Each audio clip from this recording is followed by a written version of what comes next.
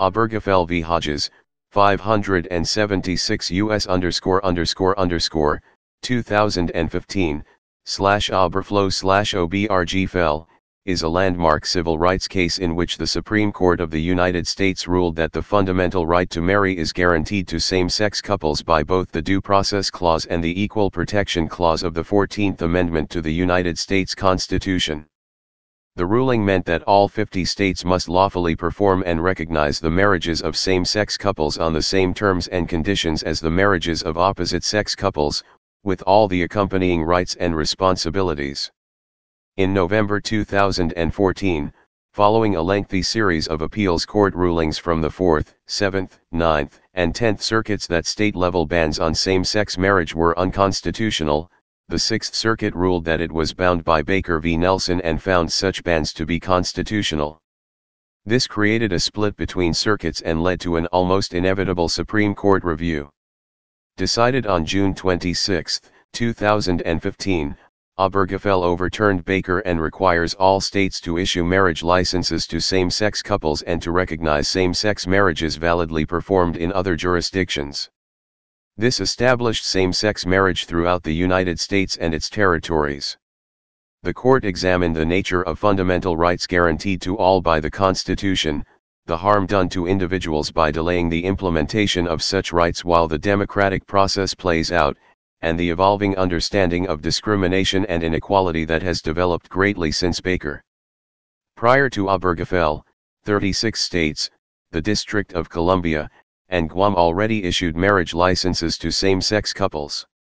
The governor of Puerto Rico announced on June 26 that same-sex marriage would begin in that territory within 15 days, and on June 29 and June 30, the governors of the Northern Mariana Islands and the Virgin Islands, respectively, made similar announcements. The status of same-sex marriage in American Samoa remains uncertain. Lawsuits in the district courts the U.S. Supreme Court case of Obergefell v. Hodges is not the culmination of one lawsuit. Ultimately, it is the consolidation of six lower court cases, originally representing 16 same-sex couples, seven of their children, a widower, an adoption agency, and a funeral director. Those cases came from Michigan, Ohio, Kentucky, and Tennessee. All six federal district court rulings found for the same-sex couples and other claimants. Michigan case, DeBoer v. Snyder. One case came from Michigan, involving a female couple and their three children. April DeBoer and Jane Rouse held a commitment ceremony in February 2007. They were foster parents. A son was born on January 25, 2009, and adopted by Rouse in November. A daughter was born on February 1, 2010, and adopted by DeBoer in April 2011. A second son was born on November 9, 2009, and adopted by Rouse in October 2011. Michigan law allowed adoption only by single people or married couples. Consequently, on January 23, 2012, DeBoer and Rouse filed a lawsuit in the United States District Court for the Eastern District of Michigan, Southern Division, Detroit, DeBoer v. Snyder, alleging Michigan's adoption law was unconstitutional. Richard Snyder, the lead defendant, was then governor of Michigan. During a hearing on August 29, 2012, Judge Bernard A. Friedman expressed reservations regarding plaintiffs' cause of action, suggesting they amend their complaint to challenge the state's ban on same-sex marriage. The plaintiffs amended their complaint accordingly on September 7. During a hearing on March 7, 2013, Judge Friedman decided he would delay the case until the U.S. Supreme Court ruled in United States v. Windsor and Hollingsworth v. Perry, hoping for guidance. On October 16, Friedman set trial for February 25, 2014. The trial ended March 7. On March 21, Judge Friedman ruled for the plaintiffs, concluding that, without some overriding legitimate interest, the state cannot use its domestic relations authority to legislate families out of existence. Having failed to establish such an interest in the context of same-sex marriage, the cannot stand. Ohio cases. Obergefell v. Kasich. Two cases came from Ohio, the first ultimately involving a male couple, a widower, and a funeral director. In June 2013, following the U.S. Supreme Court's decision in United States v. Windsor, James Jim Obergefell, slash Oberflow slash Obrgfell, and John Arthur decided to get married to obtain legal recognition of their relationship. They married in Maryland on July 11. After learning that their state of residence, Ohio, would not recognize their marriage, they filed a lawsuit, Obergefell v. Kasich, in the United States District Court for the Southern District of Ohio, Western Division, Cincinnati, on July 19, 2013, alleging that the state discriminates against same-sex couples who have married lawfully out of state. The lead defendant was Ohio Governor John Kasich. Because one partner, John Arthur, was terminally ill and suffering from amyotrophic lateral sclerosis, ALS, they wanted the Ohio registrar to identify the other partner, James Obergefell, as his surviving spouse on his death certificate, based on their marriage in Maryland. The local Ohio registrar agreed that discriminating against the same-sex married couple was unconstitutional, but the state attorney general's office announced plans to defend Ohio's same-sex marriage ban. As the case progressed, on July 22, District Judge Timothy S. Black granted the couple's motion, temporarily restraining the Ohio registrar from accepting any death certificate unless it recorded the deceased's status at death as married and his partner as surviving spouse. Black wrote that throughout Ohio's history, Ohio law has been clear, a marriage solemnized outside of Ohio is valid in Ohio if it is valid where solemnized, and noted that certain marriages between cousins or minors, while unlawful if performed in Ohio, are recognized by the state if lawful when solemnized in other jurisdictions. Ohio Attorney General Mike DeWine indicated he would not appeal the preliminary order. On August 13, Black extended the temporary restraining order until the end of December and scheduled oral arguments on injunctive relief, which is permanent, for December 18. Meanwhile, on July 22, 2013, David Michener and William Herbert Ives married in Delaware.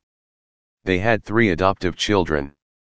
On August 27, William Ives died unexpectedly in Cincinnati, Ohio.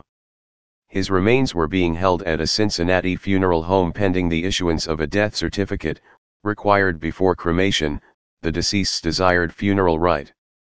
As surviving spouse David Michener's name could not by Ohio law appear on the death certificate, he sought legal remedy, being added as a plaintiff in the case on September 3.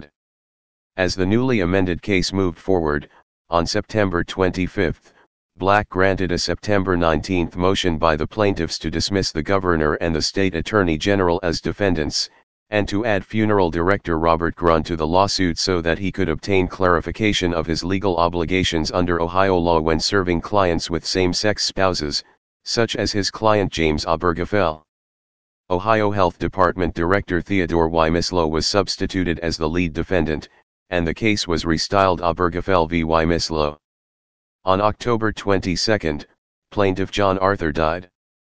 The state defendants moved to dismiss the case as moot. Judge Black, in an order dated November 1, denied the motion to dismiss.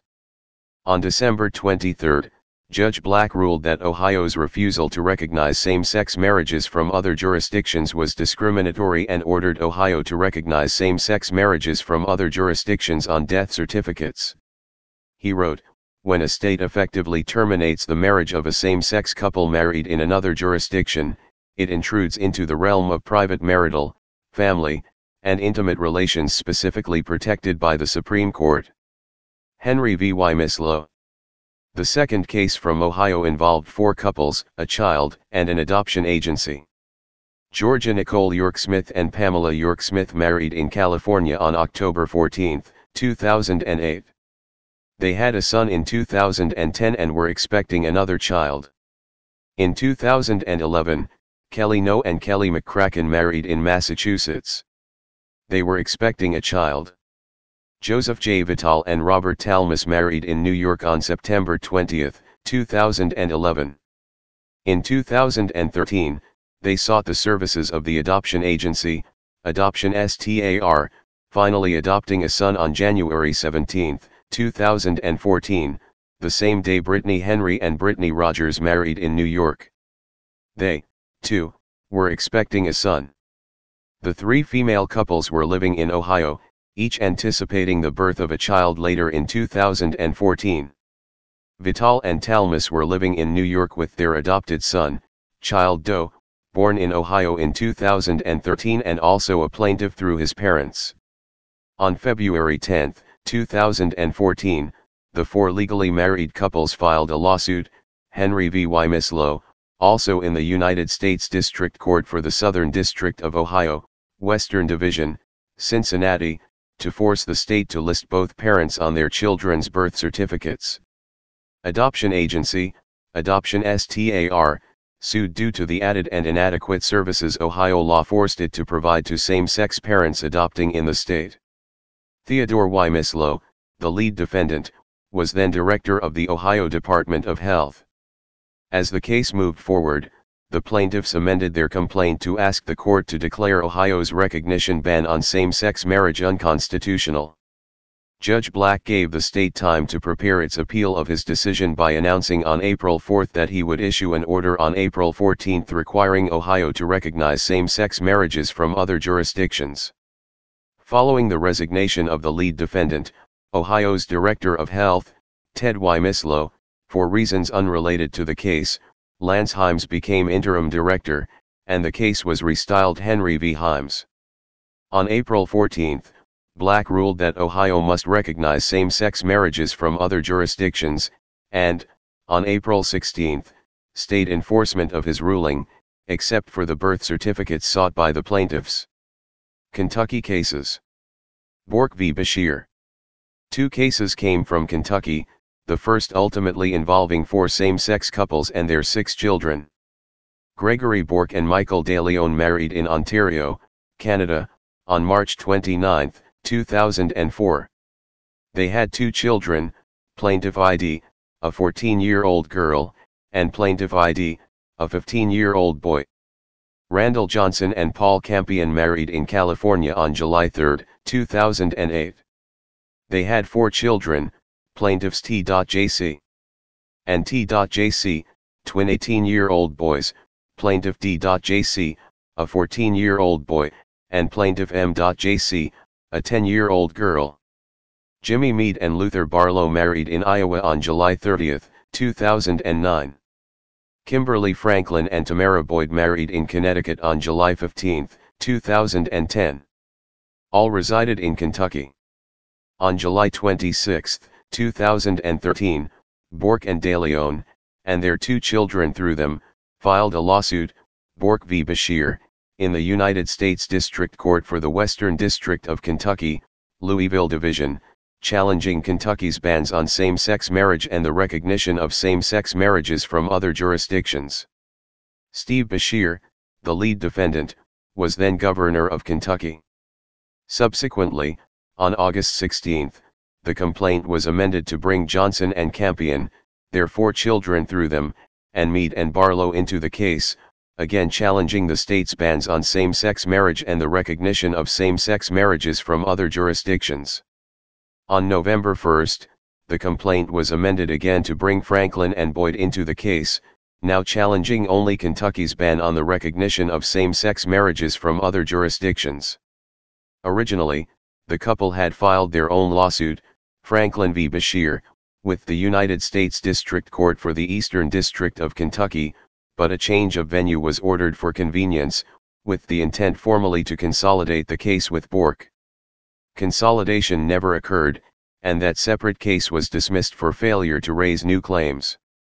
On February 12, 2014, Judge John G. Heyburn II issued the court's decision, in the end, the court concludes that Kentucky's denial of recognition for valid same-sex marriages violates the United States Constitution's guarantee of equal protection under the law, even under the most deferential standard of review.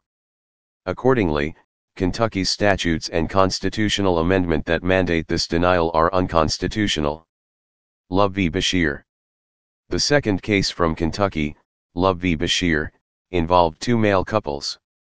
Maurice Blanchard and Dominique James held a religious marriage ceremony on June 3, 2006. Kentucky County clerks repeatedly refused them marriage licenses. Timothy Love and Lawrence Ysunza had been living together as a couple for 30 years when, on February 13, 2014, they were refused a marriage license at the Jefferson County Clerk's office. On February 14, the next day, the couple submitted a motion to join Bourke v. Beshear, challenging the state's ban on same-sex marriage. The motion was granted on February 27, and the case was bifurcated, the instant action restyled as Love v. Beshear, on February 28. On July 1, 2014, Judge Heyburn issued his ruling. He found homosexual persons constitute a quasi-suspect class, and ordered that Kentucky's laws banning same-sex marriage violate the Equal Protection Clause of the 14th Amendment to the United States Constitution, and they are void and unenforceable. In the course of assessing the state's arguments for the bans, he stated, these arguments are not those of serious people. Tennessee case, Tanco v. Haslam. One case came from Tennessee, involving four same-sex couples. Joy Jano Espejo and Matthew Mansell married in California on August 5, 2008. On September 25, 2009, they adopted two foster children. After Mansell's job was transferred to the state, they relocated to Franklin, Tennessee, in May 2012. Kelly Miller and Vanessa de Velez married in New York on July 24, 2011, later moving to Tennessee. Army Reservist Sergeant First Class DeKoe and Thomas Kostura married in New York on August 4, 2011. In May 2012, after completing a tour of duty in Afghanistan, Sergeant DeKoe was restationed in Memphis, Tennessee, where the couple subsequently relocated. On September 3, 2013, the Department of Defense began recognizing their marriage, but the state did not. Valeria Tanco and Sophia Jesty married in New York on September 9, 2011, then moved to Tennessee, where they were university professors. They were expecting their first child in 2014. On October 21, 2013, wishing to have their out-of-state marriages recognized in Tennessee, the four couples filed a lawsuit, Tanco v. Haslam, in the United States District Court for the Middle District of Tennessee, Nashville Division. William Edwards Haslam, the lead defendant, was then governor of Tennessee. As the case progressed, on November 19, 2013, the plaintiffs moved for a preliminary injunction enjoining the state from applying its marriage recognition ban against them. On March 10, 2014, plaintiff couple Kelly Miller and Vanessa de Velez withdrew from the case. On March 14, Judge Aleta Arthur Trauger granted a preliminary injunction requiring the state to recognize the marriages of the three plaintiff couples. She wrote, At this point, all signs indicate that, in the eyes of the United States Constitution, the plaintiffs' marriages will be placed on an equal footing with those of heterosexual couples and that proscriptions against same-sex marriage will soon become a footnote in the annals of American history.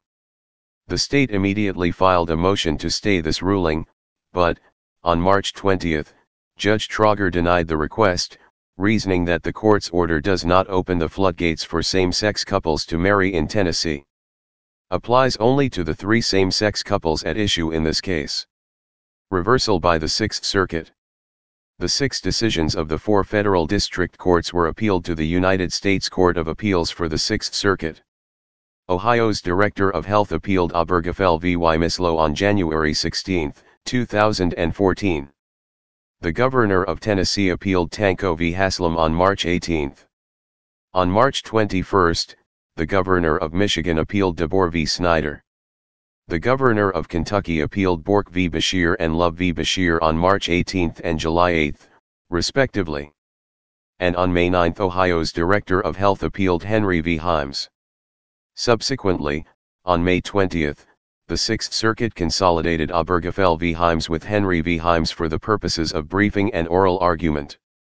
On April 15, after Ohio's governor, John Kasich, appointed Lance Himes interim health director on February 21, Obergefell was restyled Obergefell v. Himes. Upon prior motion by the parties, the Sixth Circuit also consolidated Bourke v. Beshear and Love v. Beshear on July 16. On August 6, the three-judge panel consisting of Judges Jeffrey Sutton, Deborah L. Cook, and Martha Craig Daughtrey heard oral arguments in all four cases. On August 11, Richard Hodges, by the appointment of Ohio Governor John Kasich, succeeded Himes as Ohio's health director, and Obergefell was again retitled, this time as its final iteration of Obergefell v. Hodges. On November 6, 2014, in a decision styled DeBoer v. Snyder, the Sixth Circuit ruled 2 to 1 that Ohio's ban on same-sex marriage did not violate the U.S. Constitution. The court said it was bound by the U.S. Supreme Court's 1972 action in a similar case, Baker v. Nelson, which dismissed a same-sex couple's marriage claim for want of a substantial federal question. Writing for the majority, Judge Sutton also dismissed the arguments made on behalf of same-sex couples in this case, not one of the plaintiff's theories, however, makes the case for constitutionalizing the definition of marriage and for removing the issue from the place it has been since the founding, in the hands of state voters. Dissenting, Judge Daughtrey wrote. Because the correct result is so obvious, one is tempted to speculate that the majority has purposefully taken the contrary position to create the circuit split regarding the legality of same-sex marriage that could prompt a grant of certiorari by the Supreme Court and an end to the uncertainty of status and the interstate chaos that the current discrepancy in state laws threatens. Before the Supreme Court Petitions for writs of certiorari Claimants from each of the six district court cases appealed to the Supreme Court of the United States. On November 14, 2014, the same-sex couples, widowers, child plaintiff, and funeral director in DeBoer v. Snyder, Obergefell v. Hodges, and Tanco v. Haslam filed petitions for writs of certiorari with the court. Adoption agency Adoption STAR did not petition. The same-sex couples in Bourke v. Beshear filed their petition for a writ of certiorari with the court on November 18. The DeBoer petitioners presented the court with the question of whether denying same-sex couples the right to marry violated the 14th Amendment. The Obergefell petitioners asked the court to consider whether Ohio's refusal to recognize marriages from other jurisdictions violated the 14th Amendment's guarantees of due process and equal protection, and whether the state's refusal to recognize the adoption judgment of another state violated the U.S. Constitution's full faith and credit clause. The Tanco petitioners asked the court to consider three questions, whether denying same-sex couples the right to marry, including recognition of out-of-state marriages, violated the due process or equal protections clauses of the 14th Amendment, whether refusing to recognize their out-of-state marriages violated same-sex couples' right to interstate travel, and whether Baker v. Nelson, 1972, summarily dismissing same-sex couples' marriage claims, remained binding precedent. Lastly, the Bourke petitioners posed to the court two questions, whether a state violates the due process or equal protection clauses of the 14th Amendment by prohibiting same-sex couples to marry, and whether it does so by refusing to recognize out-of-state same-sex marriages. Merits Briefs On January 16, 2015, the U.S. Supreme Court consolidated the four same-sex marriage cases challenging state laws that prohibited same-sex marriage DeBoer v. Snyder, Michigan, Obergefell v. Hodges, Ohio, Bourke v. Beshear, Kentucky, and Tanco v. Haslam, Tennessee, and agreed to review the case. It set a briefing schedule to be completed April 17. The court ordered briefing and oral argument on the following questions. Does the 14th Amendment require a state to license a marriage between two people of the same sex? Does the 14th Amendment require a state to recognize a marriage between two people of the same sex when their marriage was lawfully licensed and performed out of state? The court also told the parties to each of the four cases to address only the questions raised in their particular case. Thus, Obergefell raises only the second question, the recognition of same-sex marriages from other jurisdictions. The case had 148 amici curiae briefs submitted, more than any other U.S. Supreme Court case. Oral argument.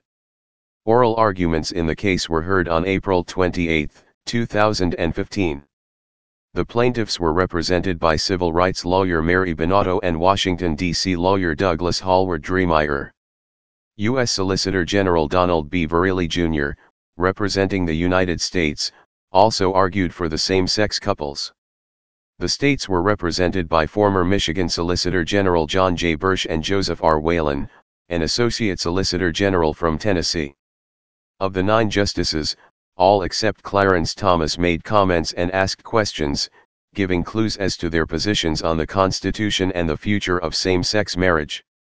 While the questions and comments of the justices during oral arguments are an imperfect indicator of their final decisions, the justices appeared sharply divided in their approaches to this issue, splitting as they often do along ideological lines, with Justice Anthony Kennedy being pivotal it was thought Chief Justice John Roberts could be pivotal as well. Despite his past views, and his dissent in Windsor, Roberts made comments during oral argument suggesting that the bans in question may constitute sex discrimination. In his opinion, however, he argued that same-sex marriage bans were constitutional. Opinion of the Court On June 26, 2015, the U.S. Supreme Court held in a 5-4 decision that the 14th Amendment requires all states to grant same-sex marriages and recognize same-sex marriages granted in other states. The court overruled its prior decision in Baker v. Nelson, which the Sixth Circuit had invoked as precedent. The Obergefell v. Hodges decision came on the second anniversary of the United States v. Windsor ruling that struck down Section 3 of the Defense of Marriage Act, DOMA, which denied federal recognition to same-sex marriages. It also came on the 12th anniversary of Lawrence v. Texas, which struck down sodomy laws in 13 states. The Obergefell decision was issued on the second-to-last decision day of the court's term, and, as late as 9.59 a.m. in the morning of the decision, same-sex couples were unable to marry in many states. The justices' opinions in Obergefell are consistent with their opinions in Windsor which rejected DOMA's recognition of only opposite-sex marriages for certain purposes under federal law. In both cases, Justice Kennedy authored the majority opinions and was considered the swing vote. Chief Justice Roberts and Justices Scalia, Thomas, and Alito each wrote a separate dissenting opinion. The Chief Justice read part of his dissenting opinion from the bench, his first time doing so since joining the court in 2005. Majority Opinion Justice Anthony Kennedy authored the majority opinion and was joined by Justices Ruth Bader Ginsburg, Stephen Breyer, Sonia Sotomayor, and Elena Kagan. The majority held that state same-sex marriage bans are a violation of the 14th Amendment's due process and equal protection clauses. The Constitution promises liberty to all within its reach, the court declared, a liberty that includes certain specific rights that allow persons, within a lawful realm, to define and express their identity. Citing Griswold v. Connecticut, the court affirmed that the fundamental rights found in the 14th Amendment's Due Process Clause extend to certain personal choices central to individual dignity and autonomy, including intimate choices that define personal identity and beliefs, but the identification and protection of these fundamental rights has not been reduced to any formula. As the Supreme Court has found in cases such as Loving v. Virginia, Zablocki v. Redhail, and Turner v. Safley, this extension includes a fundamental right to marry. The court rejected respondent states' framing of the issue as whether there were a right to same-sex marriage, insisting its precedents inquired about the right to marry in its comprehensive sense, asking if there was a sufficient justification for excluding the relevant class from the right. Indeed, the majority averred, if rights were defined by who exercised them in the past, then received practices could serve as their own continued justification and new groups could not invoke rights once denied. Citing its prior decisions in Loving v. Virginia and Lawrence v. Texas, the court framed the issue accordingly in Obergefell. The court listed four distinct reasons why the fundamental right to marry applies to same-sex couples, citing United States v. Windsor in support throughout its discussion. First, the right to personal choice regarding marriage is inherent in the concept of individual autonomy. Second, the right to marry is fundamental because it supports a two-person union unlike any other in its importance to the committed individuals, a principle applying equally to same-sex couples. Third, the fundamental right to marry safeguards children and families and thus draws meaning from related rights of childrearing, procreation, and education, as same-sex couples have children and families, they are deserving of this safeguard though the right to marry in the United States has never been conditioned on procreation. Fourth, and lastly, marriage is a keystone of our social order, and here is no difference between same and opposite sex couples with respect to this principle, consequently, preventing same-sex couples from marrying puts them at odds with society, denies them countless benefits of marriage, and introduces instability into their relationships for no justifiable reason. The court noted the relationship between the liberty of the Due Process Clause and the equality of the Equal Protection Clause and determined that same-sex marriage bans violated the latter. Concluding that the liberty and equality of same-sex couples was significantly burdened, the court struck down same-sex marriage bans for violating both clauses, holding that same-sex couples may exercise the fundamental right to marry in all 50 states. Due to the substantial and continuing harm and the instability and uncertainty caused by state marriage laws differing with regard to same-sex couples, and because respondent states had conceded that a ruling requiring them to marry same-sex couples would undermine their refusal to hold valid same-sex marriages performed in other states, the court also held that states must recognize same-sex marriages legally performed in other states. Addressing respondent states' argument, the court emphasized that, while the democratic process may be an appropriate means for deciding issues such as same-sex marriage, no individual has to rely solely on the democratic process to exercise a fundamental right. An individual can invoke a right to constitutional protection when he or she is harmed, even if the broader public disagrees and even if the legislature refuses to act, for fundamental rights may not be submitted to a vote, they depend on the outcome of no elections. Furthermore, to rule against same-sex couples in this case, letting the democratic process play out as a cautious approach to recognizing and protecting fundamental rights would harm same-sex couples in the interim. Additionally, the court rejected the notion that allowing same-sex couples to marry harms the institution of marriage, leading to fewer opposite-sex marriages through a severing of the link between procreation and marriage, calling the notion counterintuitive and unrealistic. Instead, the court stated that married same-sex couples would pose no risk of harm to themselves or third parties. The majority also stressed that the First Amendment protects those who disagree with same-sex marriage. In closing, Justice Kennedy wrote for the court. No union is more profound than marriage, for it embodies the highest ideals of love, fidelity, devotion, sacrifice, and family. In forming a marital union, two people become something greater than once they were. As some of the petitioners in these cases demonstrate, marriage embodies a love that may endure even past death. It would misunderstand these men and women to say they disrespect the idea of marriage. Their plea is that they do respect it, respect it so deeply that they seek to find its fulfillment for themselves. Their hope is not to be condemned to live in loneliness, excluded from one of civilization's oldest institutions. They ask for equal dignity in the eyes of the law. The Constitution grants T. Please subscribe and thanks for watching.